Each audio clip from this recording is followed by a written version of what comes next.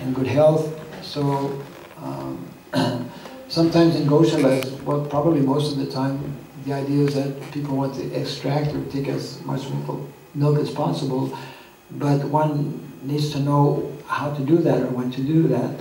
And, and, and uh, for example, it was mentioned, we might have passed it already, that uh, when, when a cow gives birth, then at least minimum, minimum two weeks, all of that milk should go to the, to the calf and, and uh, possibly even up to one month.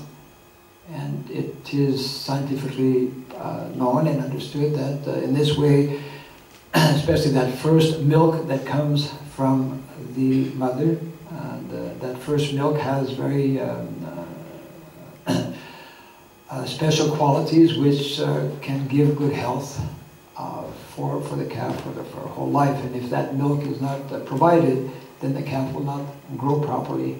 So many details of that nature. And the same applies in terms of agriculture, which we've not even touched upon. So again, I, uh, some of these PowerPoints we'll, we'll try to make available. Uh, and uh, then it's a question of, you know, it's like Prabhupada's books are there, right? But how many of us are taking the time to open them, to study, to, to read them? We, we, we need, that's why one who is more Brahmanically inclined will be able to systematically, isn't it? That's one of the um, words that Prabhupada uses in, you know, the seven uh, points of, uh, for establishing, uh, to systematically propagate um, the uh, science uh, of Krishna consciousness. something very important, how to systematically study this knowledge and how to systematically introduce it, you know, within society through established and traditional educational institutions. So um, we don't need to go into this much more right now. Um, so you can go back to, yeah. Um, so I mentioned the other two things that I wanted to do. Uh, and uh, one has to do with this, um, yeah, now you, you can go to, what is it, videos. This is that TED, TED talk I was mentioning. Uh, just, yeah, videos. Okay. Uh, TED talk. Yeah, that one. The sound, maybe I have to put up the sound a little bit. And, well, what to do? uh, anyway, I think it's dark enough and hopefully that will so just keep in mind this is, um, this person is not a devotee, but, but so many of the realizations that he has um, are very much connected with a lot of what we're talking about. And uh, it means that if an ordinary person can understand that, then surely devotees also uh, can understand it. Sound is up. I mean, on on the computer?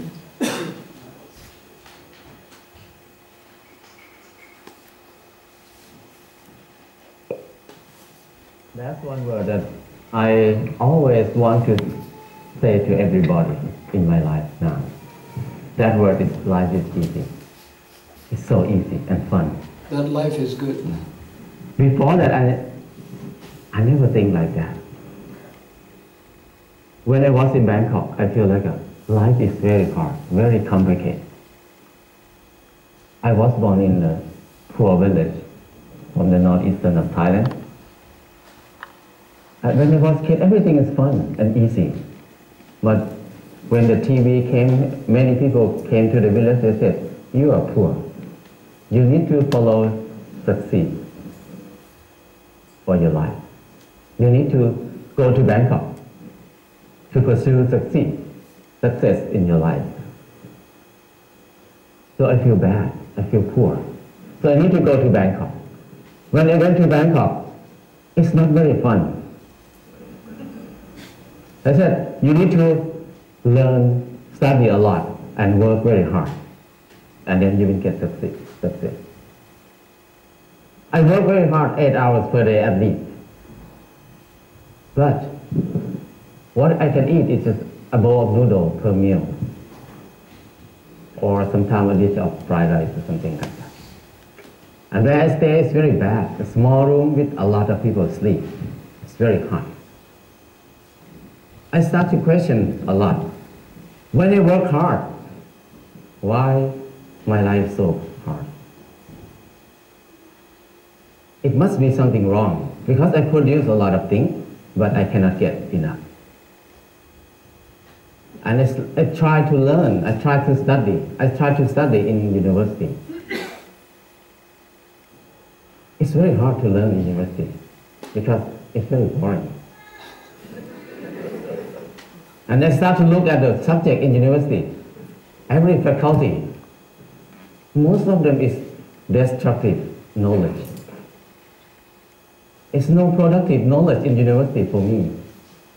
When I look at something like a, if you learn to be architect or engineer, that means you ruin more. You, the more these people work, the mountain will be destroyed more. And the good land in Chao Basin will be covered with concrete more and more. We destroy more. If you learn agricultural faculty or something like that, that means you learn how to poison, to toxicate the land, the water, and learn to destroy everything. I feel like uh, everything we do is so complicated, so hard, and everything, we just make it hard. Life is so hard. I feel disappointed. I start to think about why I have to be here in Bangkok. I think, I thought about when I was a kid. Nobody worked eight hours per day. Everybody worked two hours, two months a year. Planting rice one month and harvest the rice another month. The rest is free time, 10 months of free time. That's why people have so many festivals in Thailand. Every month they have festival. Because they have so much free time. Uh, and then in the daytime, everybody will take a nap. Even now in Laos, anybody, anybody go to Laos, you can people take a nap after lunch. And after they wake up, they just gossiping, how's your son-in-law, how's your wife, uh, daughter-in-law. Uh, that's, people have a lot of time. But at that time, because of they have a lot of time, they have time to be with themselves. And when they have time to be with themselves, they have time to understand themselves. When they understand themselves, they can see what they want in their life. So many people see that they want happiness, they want love, they want to enjoy their life. So people see a lot of beauty in their life. So they express their beauty in many ways. Some people just carving the handle of the knife very beautiful, the basket they're weaving very nice, but now nobody uses that word. Nobody can do something like that. People use plastic everywhere. So I feel like it's something wrong in there. I cannot live in this way of living. So I decided to quit university and went back home. When I went back home, I started to live like when I remember when I was a kid. I started to work two months a year. I got four tons of rice. And the whole family, is six people, we eat less than half a ton per year. So we can sell some rice. And then I dig, I dug a two pond, two fish pond. We have fish to eat all year round. And we, I started a small garden, less, less than uh, half an acre. And I spent 15 minutes per day to take care of the garden. I have more than 30 variety of vegetable in the garden. So six people cannot eat all of it. We have surplus to sell in the market. We, we can make some income in there too. So I feel like it's easy. Why I have to be in Bangkok for seven years, working hard and then don't have enough to eat. But here, only two months a year and 15 minutes per day, I can feed six people. That's easy. And after that, I before that I think that stupid people like me, who never get a good grade in the school, cannot have a house. Because people who clever than me who get number one in the class every year. They spend, even they get a good job, but they need to work more than 30 years to have a house. But for me, who cannot finish university, how can I have a house? Hopeless for people who have low education like me. But when I start to do earth and building, it's so easy. I spend two hours per day, five o'clock in the morning to seven o'clock in the morning. Two days per, two hours per day. And three months, I got a house. And another friend who was, who was the most clever in the class, he spent three months to build his house too, but he had to be in debt. He had to pay his debt 30 years. So compared to him, I have 29 years and 10 months of free time. so I feel that life is so easy. I never think I can build a house easy like that. And after that, I keep building house every year, at least one house a year. Now I have no money, but I have many houses. My problem is tonight, which house I'm going to sleep. So, house is not a problem. Anybody can build a house. The kids 13 years old, after school, they make bricks together, make a house. After one month, they have a library. The kids can make a house. Very old nun can build a hut for herself. Many people can build a house. So it's easy. If you don't believe me, try it. Hmm. If somebody wants to have a house. And then the next thing is clothing. I feel like I'm poor. I feel like I'm not handsome. I try to dress like somebody else, like a movie star, to make myself look good, look better. I spend one month to save money to buy a pair of jeans. When I wear it, I turn left and turn right, look at the mirror. Every time I look, I'm the same person. The most expensive pen cannot change my life. I feel like I'm so crazy. Why I have to buy it? Spend one month to have a pair of pants. It doesn't change me. I start to think more about that. Why we need to follow fashion? Because when we follow fashion, we never catch up with it because we follow it.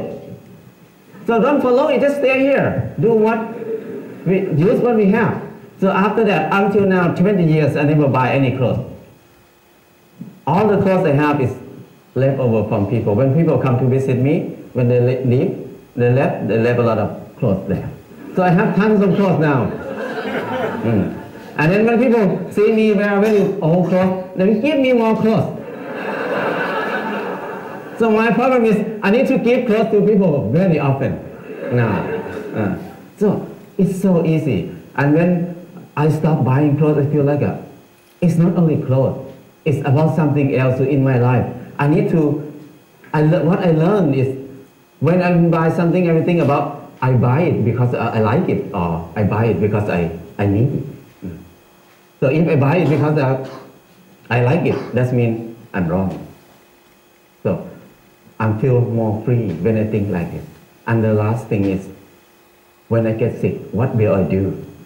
I'm very worried in the beginning because when I have no money, what I will do. But I start to contemplate more. Normally, sickness is normal thing. It's not a bad thing. Sickness is something to remind us that we did something wrong in my life. That's why we get sick. So when we get sick, I need to stop and come back to myself and think about it. What I did was wrong. So I learned how to use water to heal myself, how to use earth to heal myself. I learned how to use basic uh, knowledge to heal myself. So after I rely on myself, this whole thing, I feel like life is very easy. I feel something like a freedom or something that I feel free. I feel like I don't worry about anything much. I have less fear. I can do whatever I want in my life. Before that, I have a lot of fear. I cannot do anything. But now I feel very fear. I feel like I'm unique person on this earth. Nobody like me. I don't need to make myself like anybody else. I'm the one, number one. So things like this make it easy, very light.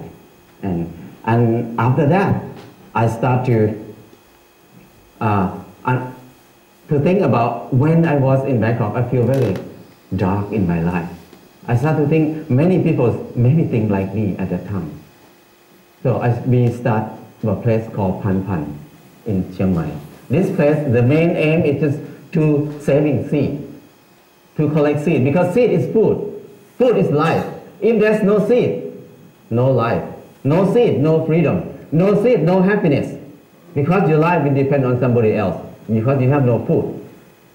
So it's very important to save seed. That's why we focus on saving seed. That's the main thing to be in Pun Pun. And the second thing is, is the learning center. We want to have a center for ourselves to learn. Learn how to make life easy. Because we were taught to make life complicated and hard all the time. How can we make it easy? It's easy. But we don't know how to make it easy anymore. Because, because we always make it complicated. And now we start to learn and learn to be together. Because every, we were taught to disconnect ourselves from everything else, to be independent. So we can rely on the money only. We don't need to rely on each other. But now, to be happy, we need to come back, to connect to ourselves again, to connect to other people, to connect our mind and body together again. So we can be happy. Life is easy. And from beginning until now, what I learned is the four basic needs, food, house, clothes, and medicine, must be cheap and easy for everybody. That's the civilization. But if we make this four things hard and very hard for many people to get it, that's uncivilized. So now when we look at everywhere around us, everything is so hard to get.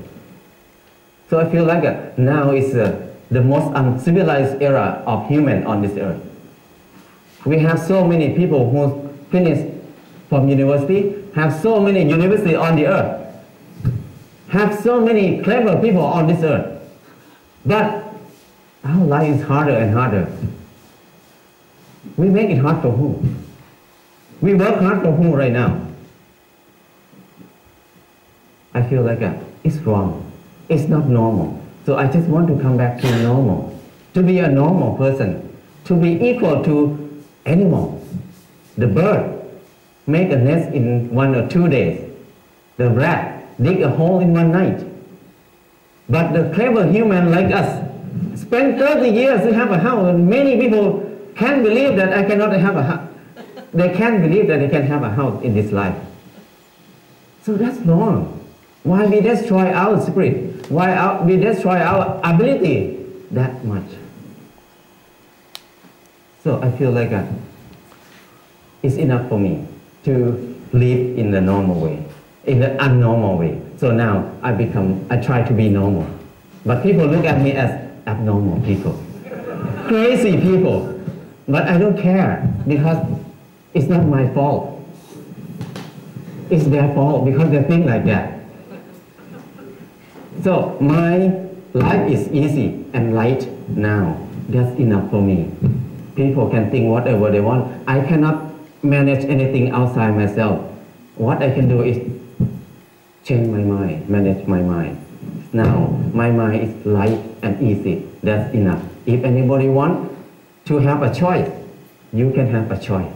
Choice to be easy or choice to be hard. It depends on you. Thank you.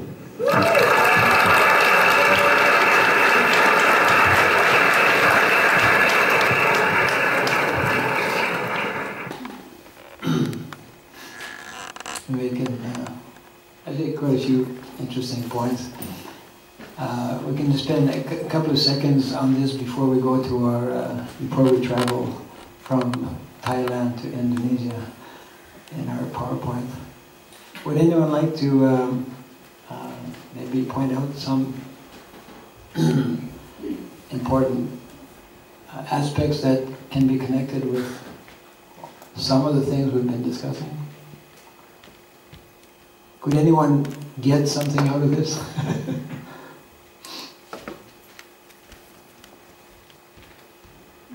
what are some important points that he was making that, that we can relate to as devotees? I mean, somebody should, uh, I don't know, I don't go to Thailand very often, but uh, he's like, ultimately everyone's a candidate to become a devotee, but he, he's, pretty, he's pretty close, yeah. Well, he, he would only have time to chant his rounds. He would definitely have time to chant his rounds, yeah. Yeah, and uh, I mean these skills that uh, he had learned himself to grow food and uh, how uh, profitable it is and uh, how simple it is and these skills he had taught himself to build a house and yeah these things uh, we also talked about how we can uh, Yeah. Get these skills and teach others. He has not only taught himself how to build a house, he has built many houses. Like he says, you know, my, my problem is that which house will I sleep in tonight? um, yes. so here's someone who's not having the knowledge, you know, all the knowledge that we have as devotees, uh, but who is, you know, by, I guess, super soul has led him to have some very nice realizations, which are very fundamental uh, to, again, the theme of simplicity, isn't it? Which is a recurring theme, especially in the seventh canto, these five chapters, where now Narada Muni speaks about, you know, the whole Varnashrama, way of life. In many purports, Srila Prabhupada emphasizes simplicity. Sim- yeah, simple living, high thinking, great, yeah. So we have the opposite nowadays, isn't it? Uh, Complicated life is so complicated, huh? so this should be, I, I wanted to share this because when I saw it, I thought, wow, you know, I mean, if a non-devotee can come to this, huh, then with all the knowledge and instructions given to us by uh, Srila Prabhupada, uh, if he can do it, uh, and there are many others as well. Any other comment on this? Yes. Just one comment that he was actually born like that, so he also had, he Ah. already had a taste for it before. Good point, yes. So that's sometimes a challenge because most of us, we are like.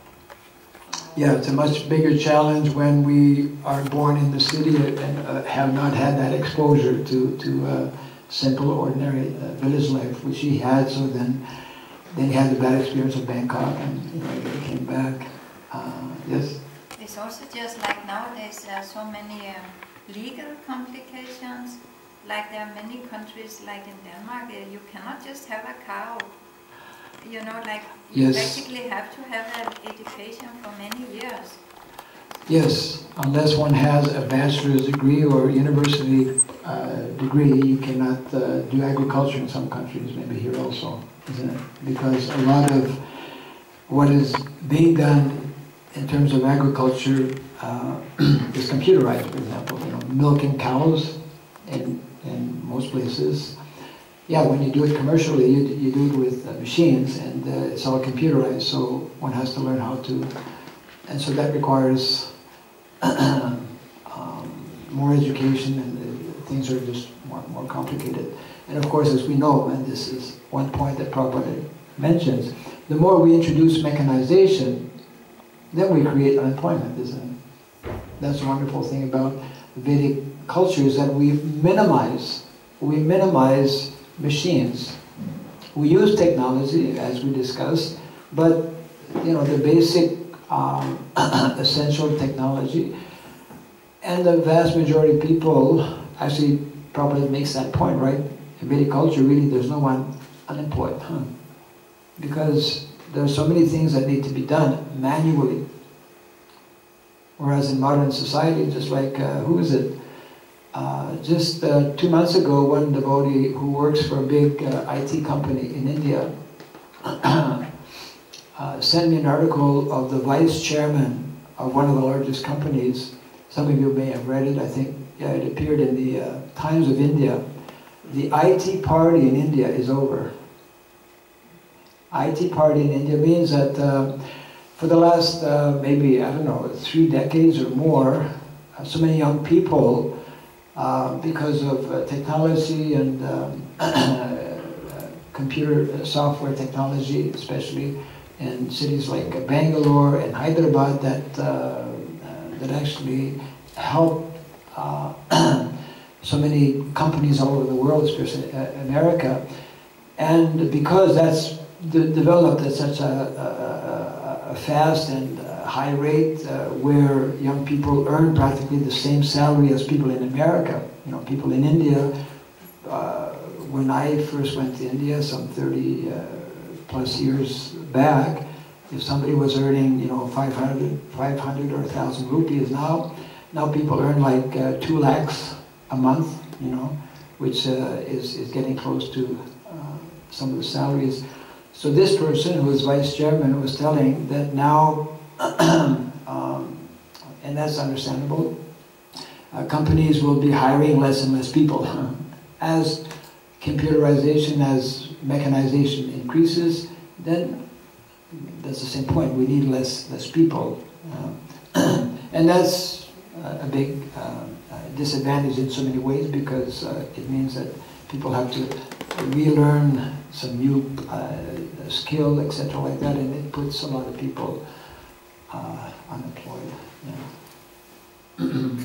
Any other? It's Yes. just kind of a practical point, because Mm. he's in Thailand, and it's more of a a tropical climate. Yeah, yeah. In Scandinavia, housing has to be much better, growing season is shorter. It makes it much more complicated. Yes, definitely. Uh, so we cannot just imitate, Yeah.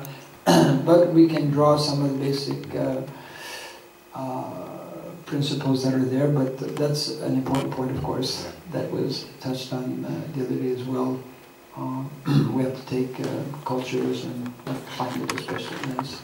It's just interesting because when I have asked people uh, which country do you prefer in the world, Uh-huh. that there quite a few people have said Thailand. Okay. And uh, so they said people are extremely friendly, and uh, I don't know, but it, it's as if uh, if more people live, uh, like he said, even after lunch they Take a nap. Yes, yes, yeah. Well, uh, all these countries, what we call the Far East, I, I've been spending quite a bit of time in the Far East, Indonesia, Cambodia, uh, Thailand, Malaysia. it's like, you know, you try and go to some office between uh, 12 and 2 o'clock. I mean, there's nobody, everyone is off for lunch and, and it's nap time. Yeah. That's part of life. And uh, the pace is, you know, there was slower pace, the whole culture, because all of the, the uh, Far East uh, countries, what we call um, uh, Greater India, actually, Mahara, uh, Bharat Barsha, Bharat Barsha, they're all part of, of, of India somehow. Uh, with the advent of Kali Yuga, became became uh, separated. But um, the, the, the culture, the culture is, is very, still very strong in terms of Vedic culture. Although um, in Thailand it's like uh, Buddhist, right? Buddhism. Um, not, uh, yeah, Thailand. Uh, Malaysia is of course Islam. Indonesia Islam. Cambodia is Buddhist. Although they have different religion, the culture is Indian culture. Indian culture means Vedic culture to a large extent, yes. One thing that struck me about this presentation was about all the knowledge things. I mean, he, his person, he said that, that actually for being happy, he did not lean, need to learn so much. Like in these countries, like Scandinavia, we use approximately maybe 10, 15, some 20 years to get some education Yes, you know. So he could, whatever he needed to learn to be happy, he could learn that maybe in a couple of months. correct. Yes, yes. well, the more complicated uh, we have set up uh, as, as, as it is today uh, around the world, then requires more years of study. But yeah, the, the more we simplify our lives, then it's, it's, it's um, uh, it takes less time to, to, to, to um, Well, he was, he was not a Brahmana, but I mean, for a, what can we call him, Vaishya? He was, he's a Vaishya, no? I mean, for him, it, it doesn't require so much. Maybe for a Brahmana, it takes a little bit more, because he has to teach. right. But like, in- in general, I mean, and he also said that most of the knowledge